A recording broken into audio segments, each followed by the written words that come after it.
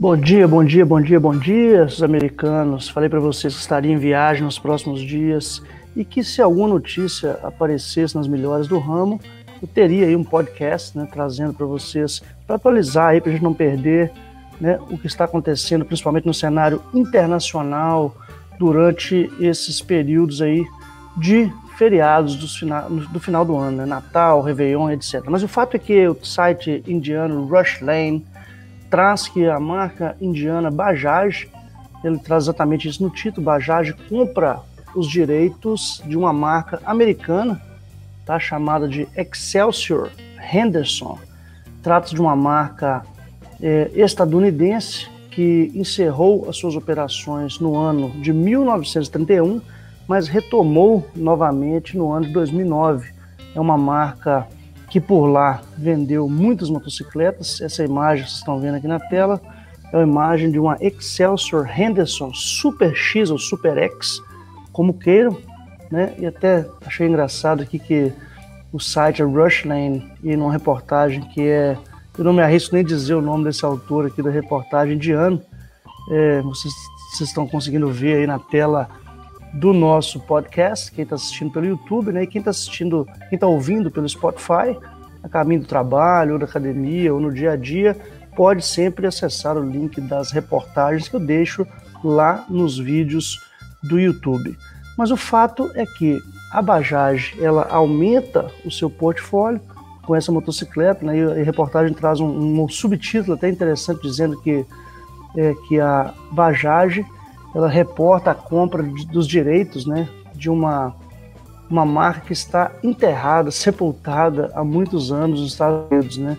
Mas, ao que nos parece, é uma marca que promete, né, com essa compra de direitos, está isso está no site da Bajaj, né, um aumento aí no portfólio de motocicletas que são entregues para o público. Né? Como nós sabemos, que a Bajaj ela vem para o Brasil, né, está planejando todo o estabelecimento aí de uma montadora na Zona Franca de Manaus, o que nos promete motocicletas para os próximos anos.